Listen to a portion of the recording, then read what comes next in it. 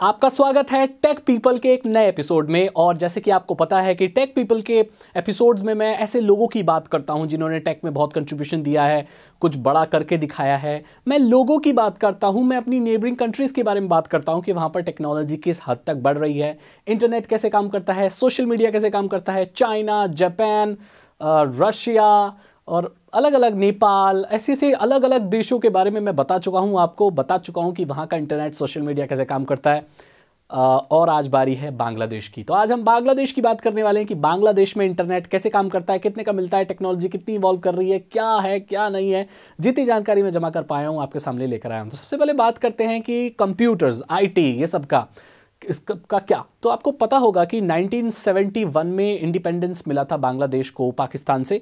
Guerrilla warfare या काफ़ी लड़ाई चली थी वहाँ पर तो उनको इंडिपेंडेंस मिल गया था। उससे पहले बांग्लादेश पाकिस्तान में ही था और 1964 में आईबीएम का 16 बीस जो वर्जन होता है कंप्यूटर का, वो देखने को मिला था। वो न्यूक्लियर कमीशन जो होती है उनकी, पाकिस्तानी न्यूक्लियर कमीशन जो थी, उस जमाने में, उसमें सबसे पहले, जो कि ढाका में उसका जो मेन सेंटर हुआ करता था, वहाँ पर आईबीएम के कंप्यूटर्स लगाए गए थे। मैं आपको बता दूँ 1964 में आईबीएम के कंप्यूटर्स काफ़ी पॉपुलर थे और अलग अलग ऑफ़िस और अलग अलग हाईटेक जगहों पर, जहाँ पर बहुत ज़्यादा कंप्यूटर्स की ज़रूरत हुआ करती थी, वहाँ पर इन कंप्यूटर्स को इस्तेमाल किया जाता था। ये वो दौर था यार नाइनटीन का।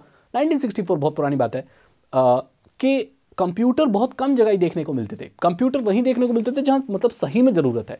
बाकी वही खाते हुआ करते थे, लोग रजिस्टर में नोट किया करते थे। आजकल आप देखते हैं हर ऑफ़िस में कंप्यूटर होता है, पहले ऐसा नहीं हुआ करता था। तो 1964 में न्यूक्लियर पावर और न्यूक्लियर एटॉमिक पावर और इन सब चीज़ों में जो है कंप्यूटर का इस्तेमाल किया जाता था। अब ये वक्त आया 1971 का, जब बांग्लादेश को आज़ादी मिल गई। आज़ादी मिलने के बाद उनके एजुकेशनल इंस्टीट्यूट्स और रिसर्च जो इंस्टीट्यूट्स होते हैं, वहाँ पर नए नए कंप्यूटर लगाए गए और उसके बाद जैसे जैसे धीरे धीरे इंडिया में कंप्यूटर्स बढ़े, वैसे ही बांग्लादेश में भी कंप्यूटर्स बढ़ने लगे और बच्चों को पढ़ाने के लिए या कंप्यूटर एजुकेशन वगैरह बहुत ज़्यादा वहाँ पर उन्नत कर गया। अब देखो मैं बांग्लादेश की बात करूँ तो भाई ये कंट्री एक बहुत अच्छा एग्ज़ाम्पल है कि जीडीपी उनकी जीडीपी की हालत बहुत अच्छी है और ये लोग बहुत ही जल्दी डेवलप हो रहे हैं। अब डेवलपिंग कंट्रीज़ तो है ही, डेवलप्ड कंट्रियाँ तो है नहीं, हमारी भी पूरी तरह से डेवलप नहीं है। डेवलपिंग कंट्रीज़ हैं तो हम अभी भी डेवलप हो रहे हैं। तो इस हिसाब से देखा जाए तो बांग्लादेश बहुत अच्छा कर रहे हैं, बांग्लादेश के लोग बहुत अच्छा कर रहे हैं। तो जो बांग्लादेश है, वो बहुत जल्दी इंप्रूव कर रहा है हर चीज़ में टेक्नोलॉजी जीडीपी हर जगह में बहुत अच्छा परफॉर्म कर रहा है। अब बात करते हैं कि इंटरनेट की मतलब इंटरनेट कितना सस्ता यहाँ पर मिलता है। सबसे पहले बात करते हैं यहाँ पर गेटवेज कैसे। तो यहाँ पर बेसिकली दो गेटवे हैं। 2004 में पहला नेशनल इंटरनेट गेटवे लगाया था। निक्स बोलते हैं उनके यहाँ, और एक इंटरनेशनल इंटरनेट गेटवे भी है। तो जो इनके कंट्री की जो भी ट्रैफ़िक होती है इंटरनेट की, वो आपके नेशनल इंटरनेट गेटवे से होके आती है, जो कि 2004 में पहला सेटअप किया गया था। अब तो बहुत सारे सेटअप कर दिए गए होंगे।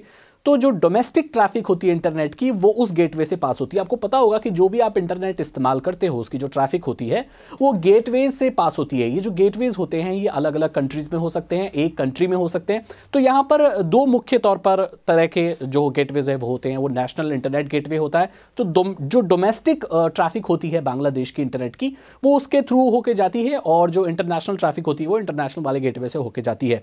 जो नेशनल गेटवे इन्होंने लगाया, वो इसलिए लगाया ताकि जो इंटरनेशनल उस गेटवे पे ज़्यादा बैंडविथ का असर ना पड़े या ज़्यादा ट्रैफ़िक ना हो और इंटरनेट बांग्लादेश में स्मूथली काम करता रहे। मैं आपको बता दूँ कि 2018 में यहाँ पर 4G आया था और यहाँ पर 4G बहुत अच्छे तरीके से काम करता है। लेकिन अगर भारत से आप कंपेयर करें बांग्लादेश के 4G को तो अभी भी इतना किफ़ायती बांग्लादेश में 4G नहीं है। बांग्लादेश की जो बहुत एक बड़ी कंपनी है, उसे ग्रामीण फ़ोन बोलते हैं if I am not wrong Grameen phone है, एयरटेल है, और एक दो कंपनियाँ और हैं, जो 4G प्रोवाइड करती हैं, और दो जी डेटा के लिए, और वहाँ की जो करेंसी है, वो टका है मतलब टका और हमारे इंडियन करेंसी के हिसाब से कंपेयर करें तो one four taka is equal to one rupees Indian rupees right right? तो वहाँ पर इस हिसाब से देखा जाए तो अगर जैसे हम लोग इस्तेमाल करते हैं, हमारा एक जी मिलता है डेली का तो वैसा पैक मतलब तीस जी डेटा एयरटेल में तीस जीबी डेटा अगर आपको चाहिए तो आपको नौ सौ अंठानवे रुपये शायद देने पड़ेंगे। नौ सौ अंठानवे रुपये तीस जीबी डेटा के लिए, तीस दिन की वैलिडिटी के लिए, अगर भारत से आप कंपेयर करें तो ये काफ़ी ज़्यादा बनता है। ऐसा भी हो सकता है कि ये प्लान चेंज हो गया हो, लेकिन जो मैंने रिसर्च की है, उससे मैंने यही पाया है। ग्रामीण फ़ोन के जो पैक देखे जाएँ, वो काफ़ी ठीक हैं, लेकिन उसमें कॉल्स वगैरह शायद फ्री नहीं है, या डेटा थोड़ा सा मतलब एक्सपेंसिव ही देखने को मिलता है। यहाँ पर पर दिन के हिसाब से जो डेटा है वो नहीं मिल रहा है इनकी वेबसाइट्स के हिसाब से। ऐसा भी हो सकता है कि और कोई प्लान हो या मुझे जानकारी नहीं मिली हो क्योंकि मैं बांग्लादेश में रहता नहीं और पूरे मैं अच्छे तरीके से वहाँ रिसर्च कर नहीं सकता। तो जो मुझे रिसर्च करके पता चला है इंटरनेट काफ़ी महँगा है कॉल्स भी इतनी सस्ती नहीं है भारत से कंपेयर करें तो।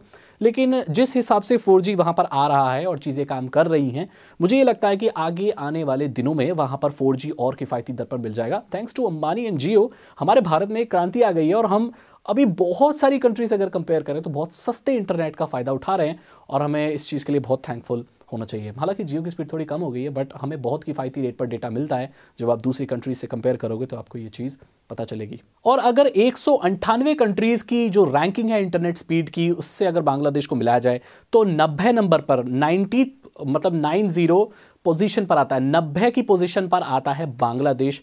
स्पीड के हिसाब से बात करें तो। अब बात करते हैं सोशल मीडिया की, कि बांग्लादेश में सोशल मीडिया क्या ज़्यादा इस्तेमाल की जाती है? तो मैं आपको बता दूँ, बांग्लादेश में जो सबसे ज़्यादा सोशल मीडिया इस्तेमाल की जाती है वो है फेसबुक।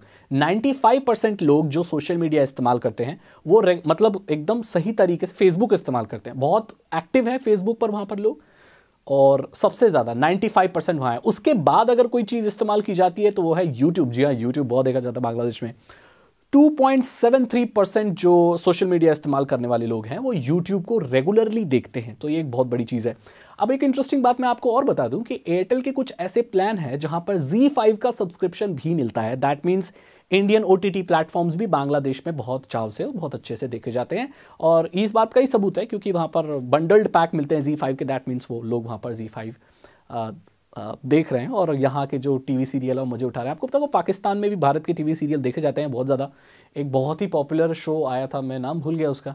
वो बहुत ज़्यादा देखा जाता था पाकिस्तान में। वहाँ के लोग काफ़ी बोलते थे कि हमारे यहाँ भी यहाँ के ड्रामाज और यहाँ की जो मूवीज़ वगैरह हैं वो काफ़ी देखी जाती हैं।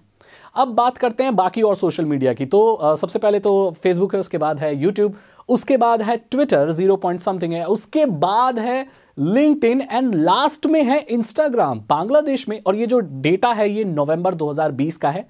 तो काफ़ी लेटेस्ट डेटा है। तो काफ़ी कम इंस्टाग्राम यूज़ किया जाता है बांग्लादेश में मतलब जितने लोग भी सोशल मीडिया इस्तेमाल करते हैं। परसेंट के हिसाब से अगर यूट्यूब से कंपेयर करें तो इंस्टाग्राम वहाँ पर बहुत कम लोग इस्तेमाल करते हैं। ये काफ़ी मतलब अजीब लगा मुझे तो विश्वास नहीं हुआ बट डेटा तो जो है ये यही कहता है। आप मुझे बताइए, क्या आप बांग्लादेश से हैं और क्या आप इंस्टाग्राम इस्तेमाल करते हैं? रेगुलरली करते हैं या कभी कभी करते हैं या आपका अकाउंट ही नहीं है? तो मैंने बता दिया इंटरनेट का हाल सोशल मीडिया का हाल कंप्यूटर्स आईटी उन सब का। अब यहाँ पर इन्वेंशन क्या हुए हैं? मेरे भाई इन्वेंशन बांग्लादेश में बहुत हुए हैं। म्यूटेशंस के बारे में बायोटेक्नोलॉजी के बारे में बहुत इन्वेंशन है। अब मैं बात करूँ, जो सबसे पहले इन्वेंशन की बात करूँ तो भाई जगदीश चंद्र बोस के बारे में सब जानते हैं, कौन नहीं जानता। उन्होंने पहला माइक्रोवेव हॉर्न बनाया था। नहीं माइक्रोवेव ओवन नहीं माइक्रोवेव हॉर्न बनाया था, जो पूरा सायरन होता है ना, ऐसे वो हॉर्न होता है, वो बनाया था। और बहुत सारी चीज़ें बनाई थी क्रिस्टल डिटेक्टर बनाया था, ऐसी बहुत सारी चीज़ें हैं जो बांग्लादेश में बनी है। मैं आपको बता दूँ कि बांग्लादेश एक ऐसी कंट्री है, जो कि बहुत सारे सॉफ्टवेयर इंटरनेशनल मार्केट में एक्सपोर्ट करता है। जी हाँ बांग्लादेश में बहुत सारे सॉफ्टवेयर इंजीनियर्स हैं और वो बहुत सॉफ्टवेयर बनाते हैं और पूरी दुनिया को सॉफ्टवेयर सॉल्यूशंस प्रोवाइड करते हैं। अगर आप वेब सॉल्यूशंस के बिज़नेस बिज़नेस में कभी होंगे, जैसे मैं कभी हुआ करता था, अब भी हूँ तो आपको पता होगा कि बांग्लादेश में वेब सॉल्यूशंस कंपनियाँ बहुत अच्छी अच्छी हैं और मार्केट में बहुत अच्छा कर रही हैं। मैं ऐसे बहुत सारी कंपनीज़ को जानता हूँ बांग्लादेश की, जो वेब सोल्यूशंस पूरे दुनिया में प्रोवाइड कर रही हैं और बहुत रिजनेबल रेट पर प्रोवाइड कर रही हैं। तो मार्केट को काफ़ी ज़्यादा काफ़ी वो खतरनाक कर देते हैं बांग्लादेश के लोग। मेरे बहुत सारे दोस्त हैं जो बांग्लादेश से हैं, मैं जानता हूँ उन्हें। तो मैंने आपको बता दिया कि बांग्लादेश में टेक्नोलॉजी कैसे इवॉल्व कर रही है क्या क्या चीज़ हो रही है क्या क्या नहीं हो रही है। अब ये वीडियो बनाने का मेरा मतलब ये नहीं होता है कि मैं सारी जानकारी दे दूँ आपको। अभी भी ऐसी बहुत सारी चीज़ें होंगी जो बांग्लादेश के बारे में मैंने आपको नहीं बताई। लेकिन कमेंट सेक्शन में आपको बहुत कुछ इंटरेस्टिंग जानने को मिलेगा खुद बांग्लादेश के लोगों से, क्योंकि वो हिंदी समझते हैं, देसी लोग हैं हमारी तरह। और वो हिंदी समझते हैं और आपको बता सकते हैं कि बांग्लादेश में क्या क्या है क्या क्या नहीं है। कई बार ऐसा होता है, मैं वीडियो बनाता हूँ, कुछ चीज़ थोड़ी सी नहीं होती है तो बोलते हैं, सागर भाई, ऐसे नहीं है, ये प्लान ऐसे है। तो सारी जानकारी हमें मिल जाती है, एक फॉरम ओपन कर देता हूँ। तो ये मेरी वीडियो थी टेक पीपल की बांग्लादेश के बारे में। अब मुझे आप बताइए कि अगली कौन सी कंट्री होगी? अब हमने अपने आसपास की जो कंट्रीज़ हैं, वो सारी ऑलमोस्ट कंप्लीट कर ली है श्रीलंका मेरे ख्याल से रह गई है तो उसको भी कंप्लीट कर लेंगे और उसके बाद अब हम जाएँगे और दुनिया की कंट्रीज़ में और बात करेंगे वहाँ पर वहाँ की टेक्नोलॉजी की। ऐसी बहुत सारी कंट्रीज़ हैं, जिसके बारे में मैं बात कर सकता हूँ और उनकी टेक्नोलॉजी के बारे में बता सकता हूँ। अमेरिका है मेरे ख्याल से एमरेट्स और बहुत सारी जगह हैं, उनकी टेक्नोलॉजी के बारे में मैं बात करूँगा। टेक पीपल के एपिसोड में। आपको ये एपिसोड कैसा लगा, मुझे ज़रूर बताइए। चैनल को सब्सक्राइब कीजिए बेल आइकन को प्रेस कीजिए। अगर आपको टेक्नोलॉजी में इंटरेस्ट है और इथिकल हैकिंग में इंटरेस्ट है स्पेशली तो आप डिस्क्रिप्शन चेक कर सकते हैं। टू नाइन्टी नाइन रुपीज़ के तीन इथिकल हैकिंग कोर्सेज हैं, जो आसान भाषा में आपको इथिकल हैकिंग सिखा देंगे, आपको एक इथिकल हैकर बना देंगे। चैनल को सब्सक्राइब करेंगे बिल्कुल फ्री इसके लिए कोई पैसा देने की ज़रूरत नहीं है। मेरे साथ जुड़े रहेंगे बेल आइकन को प्रेस करें। मैं मिलता हूँ आपसे अगली वीडियो में। Thank you so much and good